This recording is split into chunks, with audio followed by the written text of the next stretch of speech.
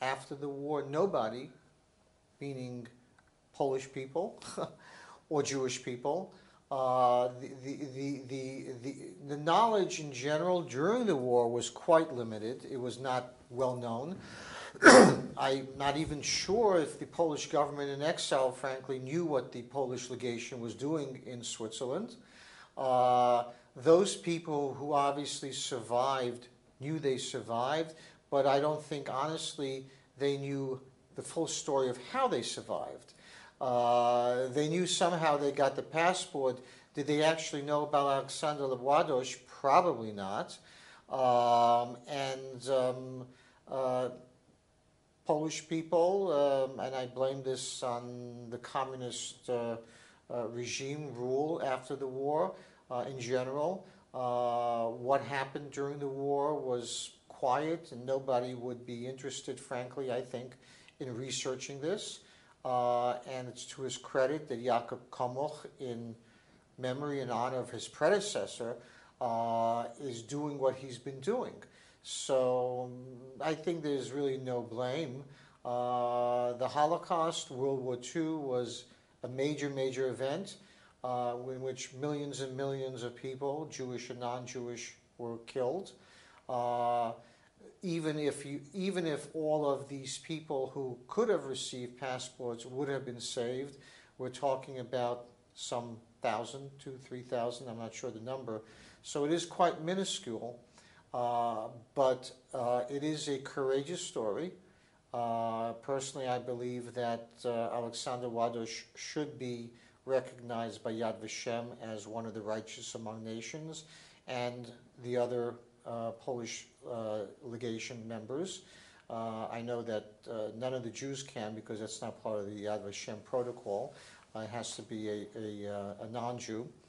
Um, and I think you were asking me 10 years ago when I mentioned I was at Masua in Israel and I was reviewing the archival records of Dr. Schwarzbaum that are now part of the records of Alfred Silberschein.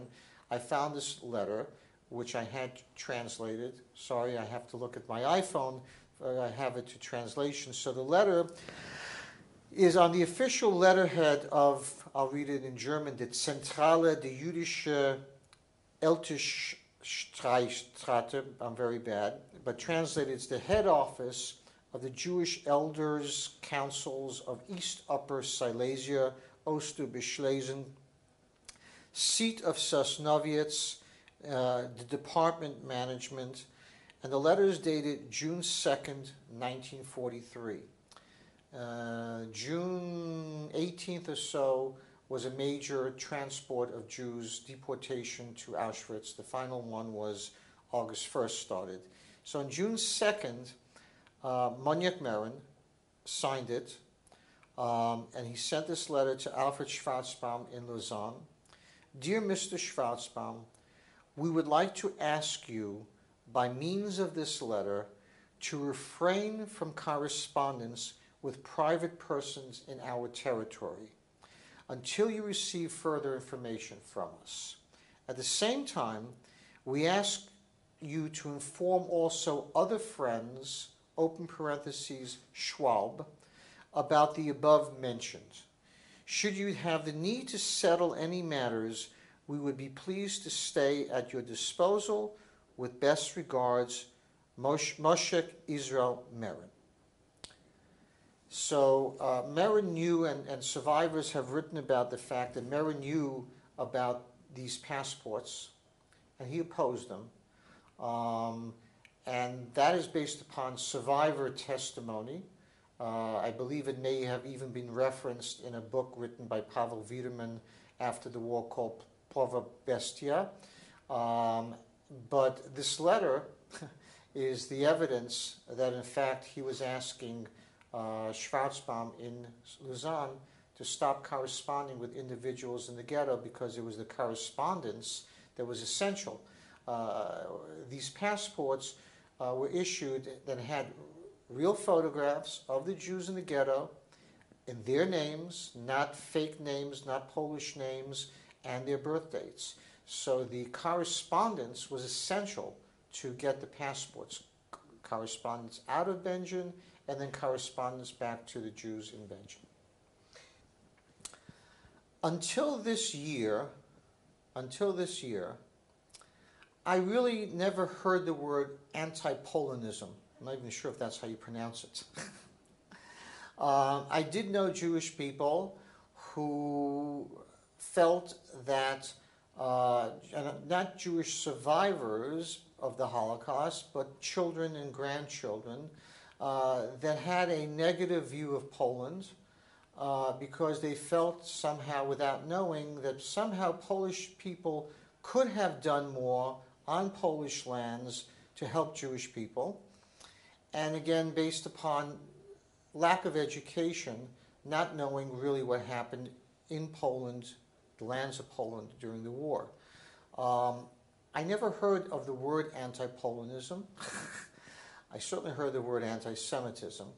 Um, and unfortunately, this year, because of what's called in Polish the anti-defamation law, which in the vernacular outside of Poland is called the anti-Holocaust law, um, it has stirred up resentment by Jewish people throughout the world because uh, the feeling is we, especially I live in the United States, we have no limitations on freedom of speech. And you, we, I can get up and say that if not for FDR, millions of Jews could have been saved. I can also say that FDR mur- murdered Jews, and nothing can happen to me.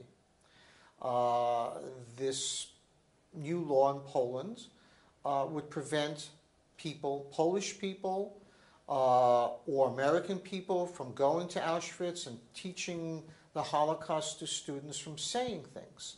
So, in our grain as Americans, that goes against our grain. You should not prevent people in Poland from saying anything about anything, even about the Holocaust. So, um, the Holocaust is a very, very, very um, um, sore topic for Jewish people. Um, it's, it strikes a nerve, a chord. And if anybody in any place tries to prevent any speech, etc., there'll be a reaction. And there was a reaction. And uh, I think there's a law of physics for every action, for, there's a reaction. So unfortunately, uh, certain anti-Polish press and, and, and um, talk, because of the law, also brought out and in the United States, they're anti Semites, and in every country in the world, they're anti Semites. It, in my view, and this now is my view as opposed to history, allowed uh, in Poland Polish anti Semites to come out more open and with their views. And frankly, in my view, Polish people who've just never even thought about the subject of Polish Jewish relations, etc., see Poland being attacked from abroad. And Polish people, there's nothing wrong with being nationalistic, in my view. Uh, when you go to the World Cup or to uh, the Olympics, everybody is nationalistic. uh, but the idea of, of, the, of the Olympics is we play in, in, as friends Whoever wins, wins, and we don't preach hatred against people. And nationalism, in my view, there's nothing wrong as long as that does not encompass preaching hatred against other peoples. Uh, unfortunately, nationalism in the United States, in Poland, and many other countries has brought out that element uh, that preaches hatred. And that's a bad thing. Um, and hopefully, uh, I have been to Poland almost 20 times. Uh, first time I came, the first two times I came was before 1989. Uh, and I've seen how, uh, forget about your economy and everything, but how Polish Jewish, Polish Israeli relations have amazingly come a long way from the Iron Curtain of silence and etc Uh, and this year was a very uh, difficult year for me starting in January because there was a setback. Um, and I've been trying my best this year uh, to help. On, I can't, I'm, I'm nobody, uh, but I'm very pleased that I was able to convince uh, over about 250 Jewish people from across the world to come to Poland to commemorate the 75th anniversary of the liquidation of our ghettos in Będzin Sosnowiec. And these people got to meet good Polish people in our communities, uh, meaning Będzin Sosnowiec, Zawiercie. Uh, we started out in Krakow. And all these people have given me feedback. Thank you for telling us to come. Nobody has left upset that they have come. And now I'm at uh, what was, had been planned much earlier, this International Conference of Jewish Genealogists, first time ever in Poland. As I understand it, there are about 750 people registered. Again, most of the people have never been to Poland, uh, but they went past that uh, uh bridge of saying, okay, I'll go, I'll experience, let me check this food out, taste it myself, and not listen to the critics and come up with my own opinion. And all the people I know that have been walking around this hotel and this conference have been quite pleased uh, and I'm sure quite surprised it wasn't what they were expecting. Um, and I will tell you that um, I had a kippah made specially for this conference. It's the only one in the world with the Polish, American, and Israeli flags. And my name, by the way, my Hebrew names, I'm named after both my grandfather on my father's side and my great grandfather on my mother's side, who were murdered in the Holocaust. Most children of Holocaust survivors, the minute we are born, we are, we are I don't want to use the word tattooed, but the Holocaust is imprinted in us because we're named after our grandparents and great grandparents who were murdered in the Holocaust.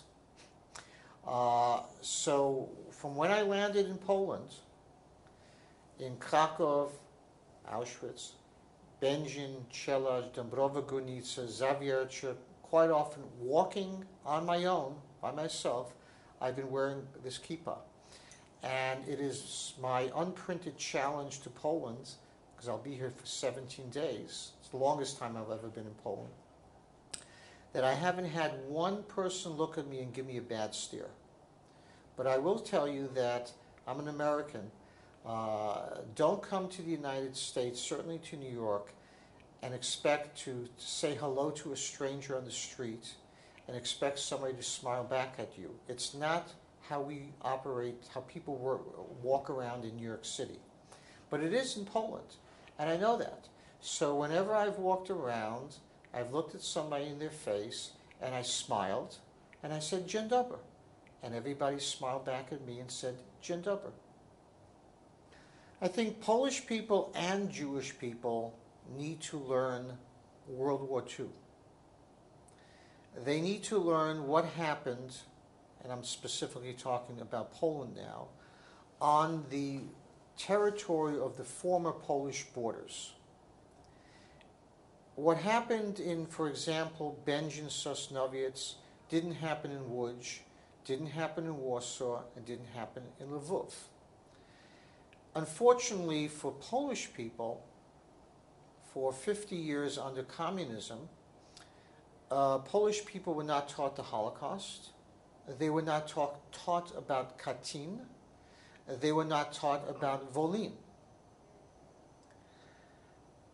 Jewish people, Americans, we're not into history, but we were taught to a certain extent, some more than others, about the Holocaust. But we were not taught about World War II, other than Hitler invading Poland. We weren't taught about Stalin invading the eastern part of Poland.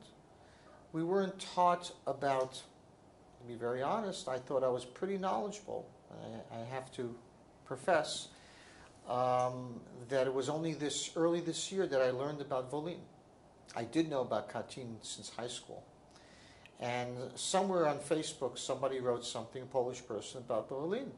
And I wasn't like, what was that? And I started to research it independently. And I was like aghast. I had no idea.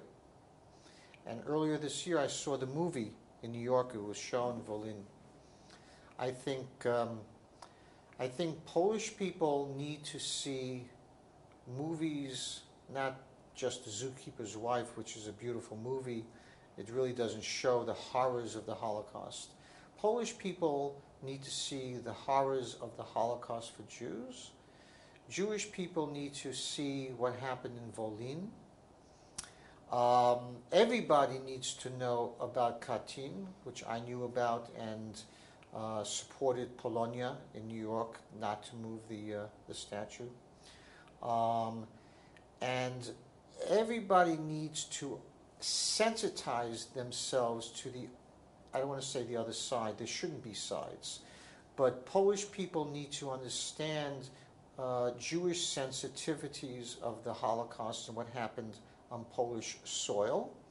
And Jewish people also need to be sensitized to what happened to Polish people. Okay? Um, I will say, I will mention Jedwabne. What happened in Jedwabne happened in Jedwabne. Whoever did it, under what circumstances, to somehow now, 75 years later, determine the specifics, whatever that may be, is not going to be an answer as to whether Polish people were good or bad as a people during the Holocaust. To, to say that 3 million Polish Jews and 3 million Polish Catholics died is not an answer to me that they're equal. To say that 100,000 or 150,000 Poles died in Auschwitz and 900,000 or a million Jews died in Auschwitz-Birkenau doesn't tell me that, well, we won the numbers game. It's not a numbers game. It's not a my view. Every story, it's like the story of the Bernese group, should be researched and documented. There is no scale. We should learn from our past. It was not the Polish people who created the Holocaust. It was not the Polish people who built Auschwitz. It happened on Polish soil. I, I listened to a uh, Polish priest in New York at an event uh, last year say something, and I thought it was quite beautiful. What he's, he was talking about the uh, sad history of Poland. And he talked about after 123 years, uh, and I was very happy walking down Krakowski Przedmieście the other night and seeing the lovely exhibits about Woodrow Wilson and Polish-American friendship.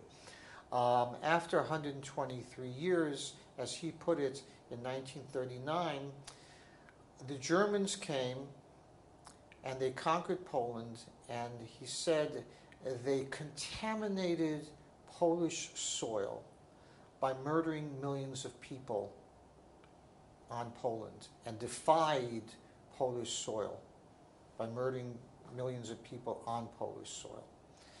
And that's what everybody needs to understand. Uh, we need to learn our common history, the common history of World War II. And the history of World War II also is not a question of geography, what was happening in Będzin versus what was happening in Rovno or Warsaw, but also time-wise. It's very important when you talk about what, what was happening in Warsaw with the Jews dying in the ghetto in 1942 was not happening in Będzin Sosnowiec, uh, where the Jews were employed and we're getting rations uh, and were working for the Germans. Uh, uh, we have in America a saying with regard to real estate, location, location, location. The lucky thing for my father was he lived in Zawiercie, which was annexed by the Third Reich.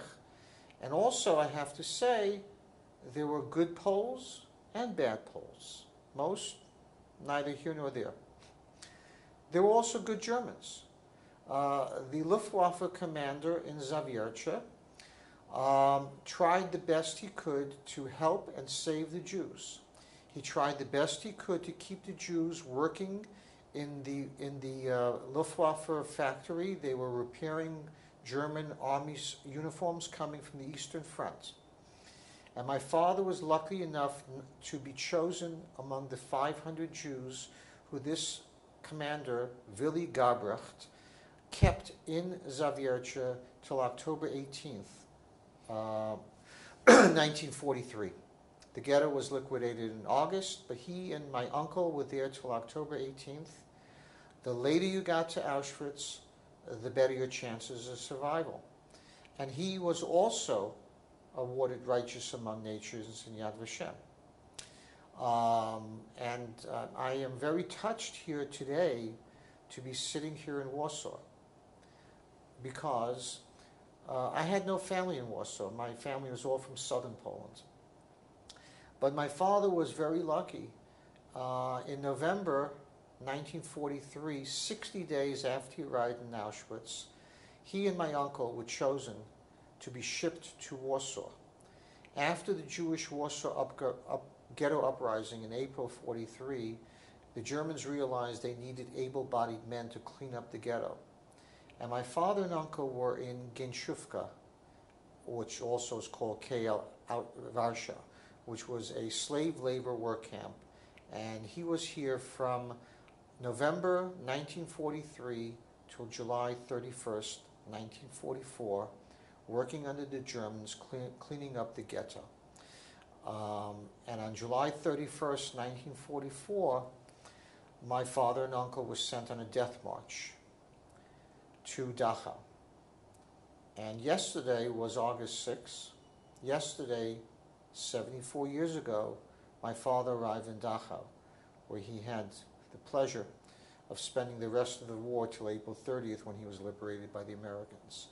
So to be here today in Warsaw, attending a Jewish conference, talking to you about my family's experiences is uh, quite emotional.